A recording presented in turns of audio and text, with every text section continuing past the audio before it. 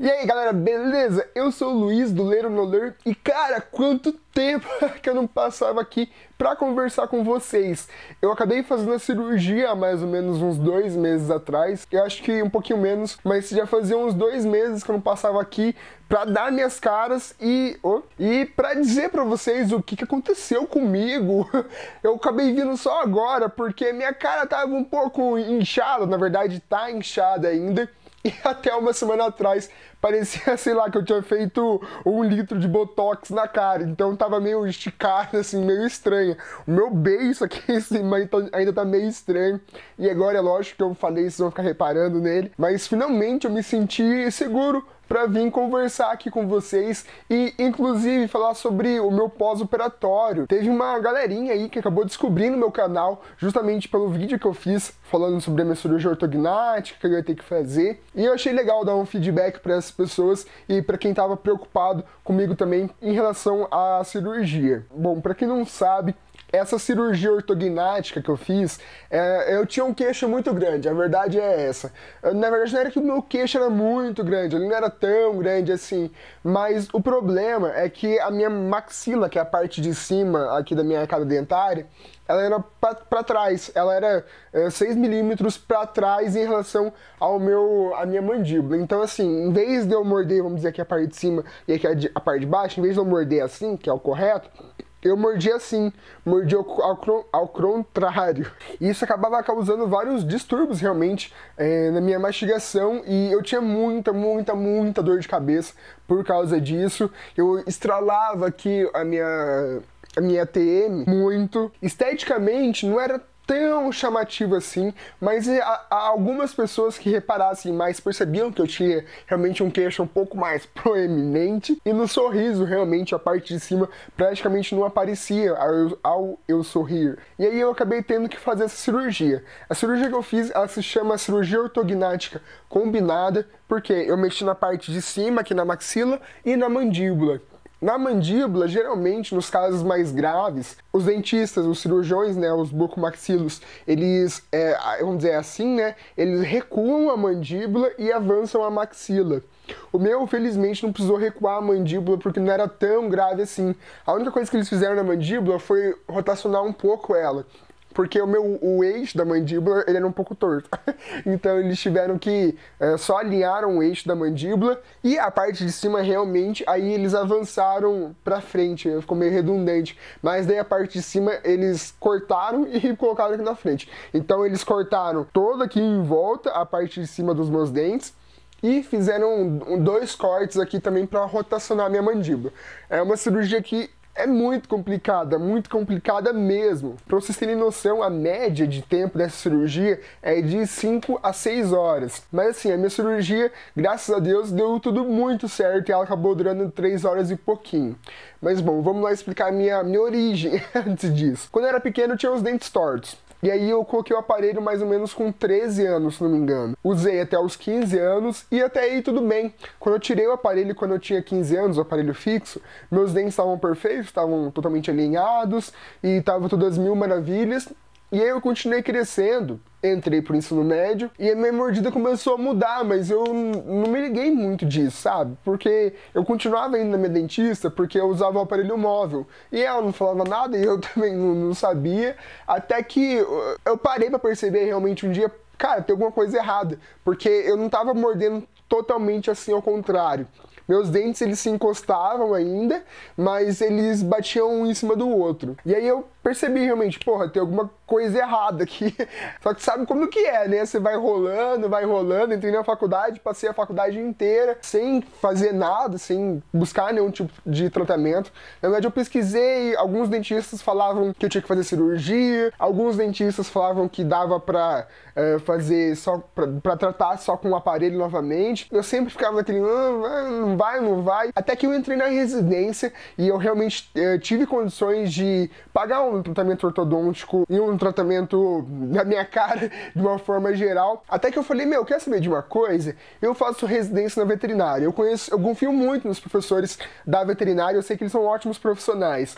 Então eu, eu vou procurar os professores da UEL de odonto. Aí eu entrei lá no site da, da UEL de odonto, cacei a lista dos é, dos cirurgiões e eu descobri a doutora Cecília, que foi uma, um anjo na minha vida, uma benção, sabe? Estiver vendo o vídeo, um beijo, doutora Cecília. É, e fui lá conversar com ela, marquei uma consulta e ela falou: Olha, Luiz, seu caso realmente, ele, eu recomendaria que você fizesse a cirurgia. Ela explicou tudo, todos os, os prós, os, os contras, e realmente tinham muito mais prós do que contras.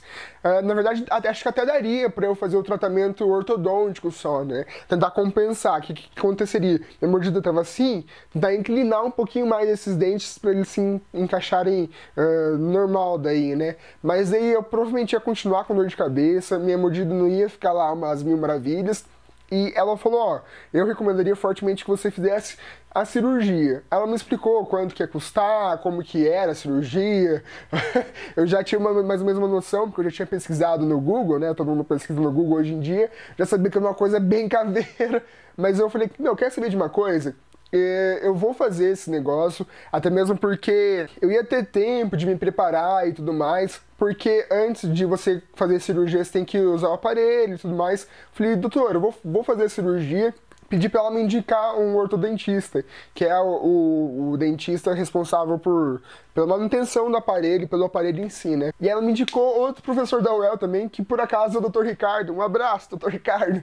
E aí a doutora Cecília falou, ó, oh, vai lá, conversa com ele, troca uma ideia, vê o que ele acha. E ele também falou a mesma coisa. Falou, ó, oh, Luiz, se quiser fazer o tratamento uh, para compensar, dá, a gente faz. Mas ele também recomendou que a gente fizesse a cirurgia. E aí eu realmente decidi, não, vou fazer a cirurgia. Tenho alguns anos para me preparar, porque eu não tinha plano de saúde. E eu falei, meu, Quer saber de uma coisa? Eu vou fazer um plano de saúde, vou esperar dar o limite da carência. Quando der o limite da carência, eu vou lá e faço a cirurgia. É, mesmo com o plano de saúde, a cirurgia ia ser uma cirurgia bem cara, porque o plano de saúde cobre médico. Então, o honorário de cirurgião buco-maxila eles não cobrem. Mas o plano já daria uma boa ajuda, pagaria o hospital, anestesista, é, os exames que eu fosse precisar, enfim. Eu optei por fazer a cirurgia, como a carência da Unimed era de 24 meses, aí eu falei, meu, tenho dois, tenho dois anos para me preparar o doutor Ricardo falou, ó, quer pôr aparelho já? A gente coloca, você vai se preparando nesses dois anos, provavelmente quando chegar aí, quando acabar o plano de a carência do plano, né, você já tá pronto para fazer a cirurgia. E foi exatamente isso que aconteceu. Acabou o, o, período de carência da, da Unimed, deu certinho com o período que eu terminei a, a residência, então o timing foi muito bom. Eu ainda tive que esperar acho que dois ou três meses por compatibilidade de agenda mesmo, mas aí foi tudo certo. Uh, alguns problemas que eu tive com o plano de saúde. O plano de saúde não cobriu uh, duas, uma serra e uma ponteira que meu dentista usou. Eu vou entrar ainda com ação, mas isso ainda é, são emoções para os próximos capítulos. Depois eu conto aqui o que, que desenrolou, mas foi paguei mil e pouco por, por essa serra que precisou usar, enfim. Mas a Unimed realmente acabou cobrindo tudo, a parte de internação, de anestesia, do hospital e, e acho que foi basicamente isso, né? E os exames também que eu precisei fazer, ela também cobriu uma parte, tirando, as par tirando os exames ortodônticos, né? Que daí é a parte de dentista, ela não cobre. E, enfim, depois de dois anos aí de preparação, chegou a tão temida cirurgia. Foi um período peculiar da minha vida. Meu, minha mãe veio aqui para cuidar de mim porque eu moro sozinho aqui em Londrina e eu basicamente não ia ter como me cuidar uh, sozinho, ia ser bem complicado. Alguns dias antes da cirurgia, eu fui na minha, na minha cirurgia e ela fez todos os moldes para poder uh, simular a cirurgia, como que ela iria fazer a cirurgia no gesso, e isso foi bem legal, porque ela mostrou, ó, agora a gente faz isso aqui, depois faz isso aqui, e mostrou a minha mordida certinho, como que ia ficar no no final e foi bem bacana. Um dia, acho que um ou dois dias antes, eu fui consultar com o anestesista, foi tudo de boa, não teve nenhum problema. E aí chegou a cirurgia. Eu fiz aqui em Londrina no Hospital Evangélico. Cheguei lá, era mais ou menos umas 7 horas, entrei pro quarto. Eu acho que era mais ou menos umas 8 horas. Na verdade, eu nem cheguei a entrar no quarto porque a gente, lá no evangélico, a gente uh, entra numa parte onde eles já preparam os pacientes. Minha mãe ficou ali numa sala de espera, já me deram ali um midazolam, eu já apaguei, já não lembro de mais nada. Fui acordar, era umas 5 horas da tarde, eu acho que mais ou menos isso. Foi umas 5, 6 horas da tarde. Meu, tipo, você acorda, lá é legal que eles uh, se acordam e eles te deixam numa sala de pós-operatório uh, imediato. E eles ficam te monitorando ali até você ficar bem realmente acordado dizer, não, tô acordado, pode me levar pro quarto. Só que assim, o pós-operatório imediato são três dias de puro arrependimento. Você fala, por que, que eu fui fazer essa desgraça? Não precisava realmente fazer isso.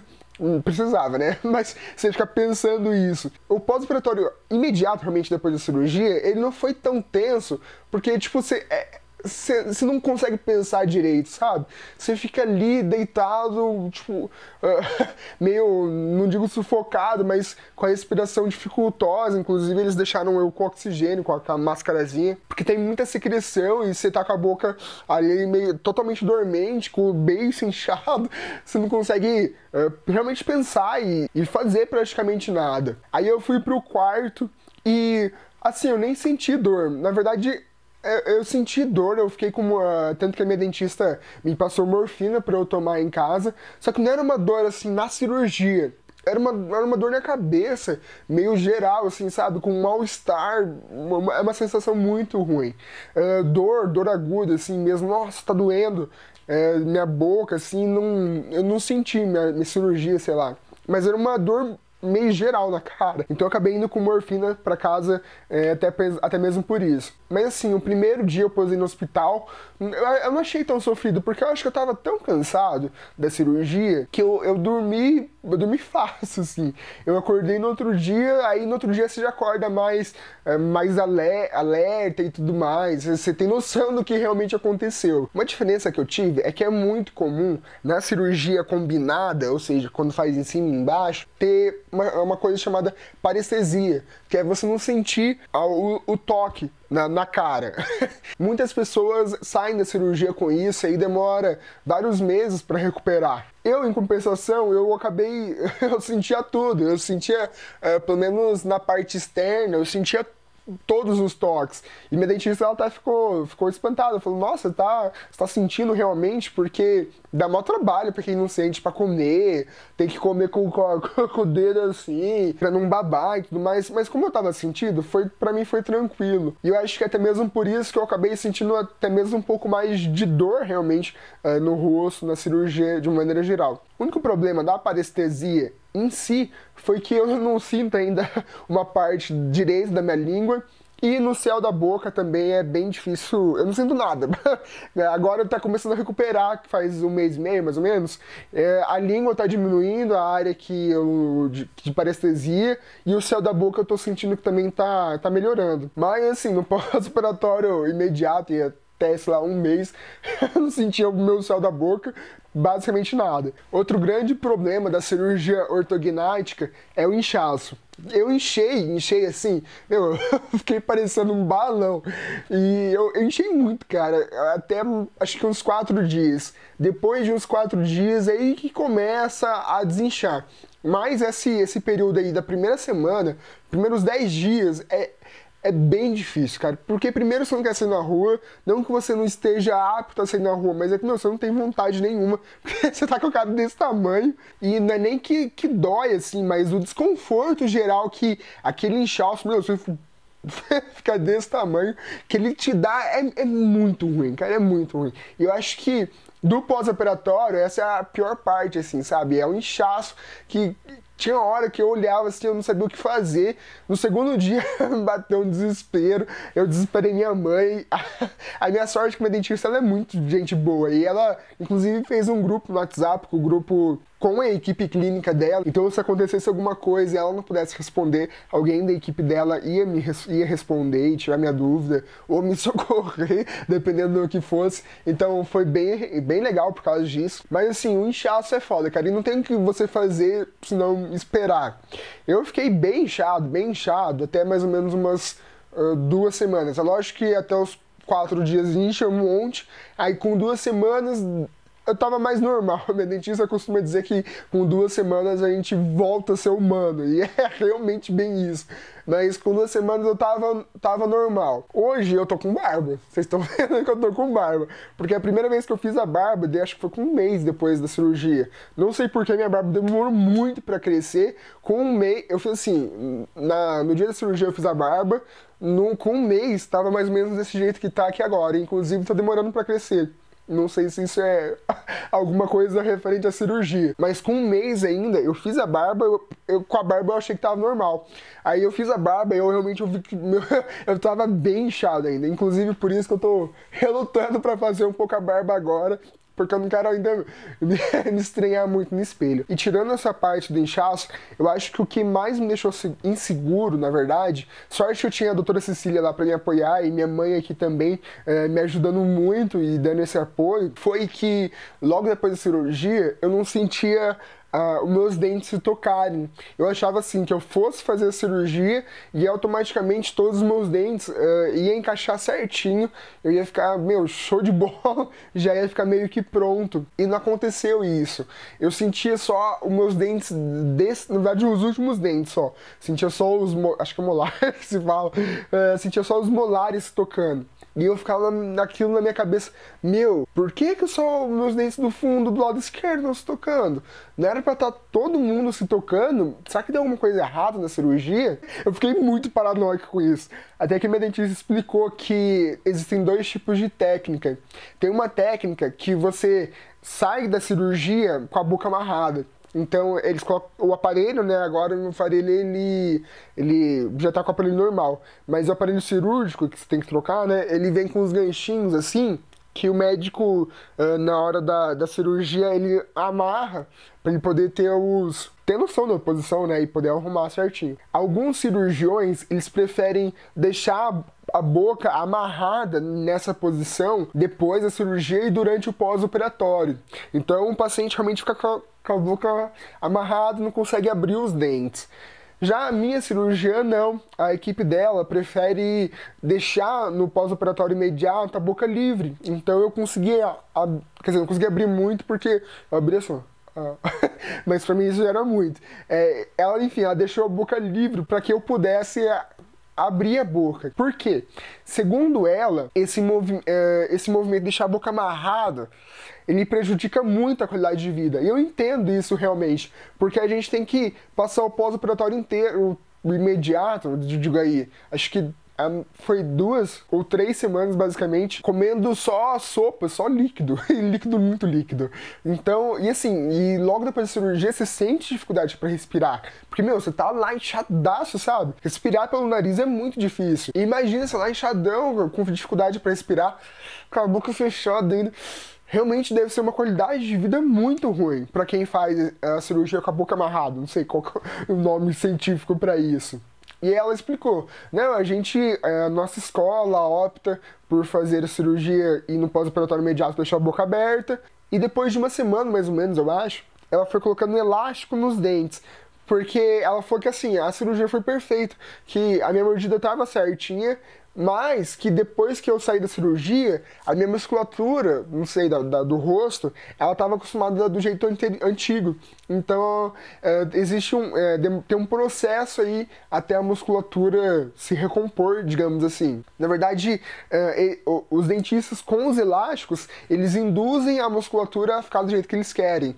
Então, aí eu usei elástico por uma, até acho que um mês, mais ou menos, eu acho que foi até um mês. Ah, ah, aí a minha mordida realmente começou, depois que comecei a usar o elástico, começou a ficar certinha.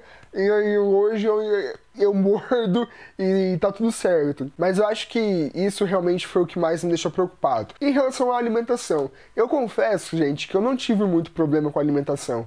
Porque eu vejo o pessoal falando que na internet, principalmente em vídeos, falando que teve muito problema, que eu tinha que tomar no canudinho, ou tinha que tomar naqueles negócios de ketchup. Cara, eu não tive nada disso, porque eu acho que é justamente porque eu tava sentindo meus lábios. Então, para mim, para eu tomar no copo, era muito de boa. De um jeito ou de outro, minha dentista falou que eu não podia usar canudinho. Hum, eu não sei, ela deu a explicação lá, mas não entendi muito bem, confesso.